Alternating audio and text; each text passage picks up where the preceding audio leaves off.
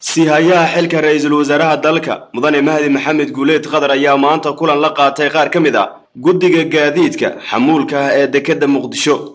Kulanka oo ay goobjoog ka ahaayeen siihayaha wasiirka gaadiidka taliyaha booliska iyo taliyaha nabadgelyada waddooyinka ayaa looga hadlay tayaynta gaadiidka xamuulka qaada ee dekedda siihayaha wasiirka gaadiidka iyo duulista hawada xukuumadda soomaaliya ayaa sheegay in go'aanada lagu gaaray kulanka ay ugu muhiimsanayeen in la sameeyo goobo gaadiidka lagu sii hayo. Inta dekedda ay ka gelayaan si looga baaqsado.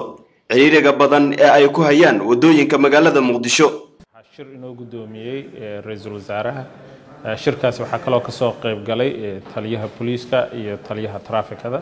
Dhammaanteen waxaan ka hadlaynay badqabka baabuurta xamuulka qaada wadanka oo loo baahan yahay in tayadooda sare loo qaado. Number two baabuurtii oo ku soo badatay dekedda iyo waddooyinka dekedda oo dhan oo aada u tiro batay. Alxamdulilah xilligii coronaviruska uu jiray ayaa waxaa dhacay in canshuur dhaaf ama canshuurta laga yareeyey raashinka yimaado taas ayaa waxay keentay in wadanka uu soo galo. Maraakiib badan ay timaado oo raashiin wado taasna waxay keentay in baabuurta loo baahan yahay gudaha looga baahan yahay dekedda ay soo bataan.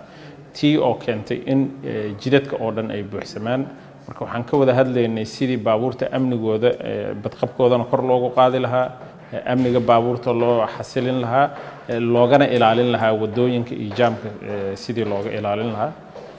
Arrintaasna go'aano ayaa laga gaaray. Go'aanadiina hadda ayaan fulintooda insha allah tacaala aan gelaynaa waxaa kale oon dib u bilaabeynaa insha allah tacaala sidii badqabka baabuurta oo dhan aan tayadooda kor ugu qaadi lahayn oo ahaa shuruucyo jiray muddo hore ayaan dib u bilaabeynaa insha allah tacaala baabuurta waaweynna waxaan u sameynaynaa meel holding areas oo inta ay dekeda ka gelayaan xumuulkooda ay ka soo qaadayaan jidadka ahayn oo lagu sii hayo hadduu ilaahay ka raali noqdo iyo sidii aan ugu fududeyn lahayn dekeda marka ay alaabta ka soo degto baabuurka uu galo isla markii inuu ka soo qaato uu soo baxo servicekooda loogu dadejin lahaa. Meesha hadda mararka qaarkood ay ku daahaan in markabka laga dejiyo ama qalabka wax raro ay yar yihiin sidii loo boobsiin lahaa oo ganacsatadana loogu fududeyn lahaa waxooda ayaan ka ballanay hadda hadduu ilaahay ka raali noqdo guddi ayaa loo saaray guddigaasna laba maalin gudahood hadduu ilaahay ka raali noqdo in ay tala bixin deg deg ah ay ku keenaan. Laakiin maanta ka bilaabato baabuurtaasi sidii jidadka looga qaadi lahaa waan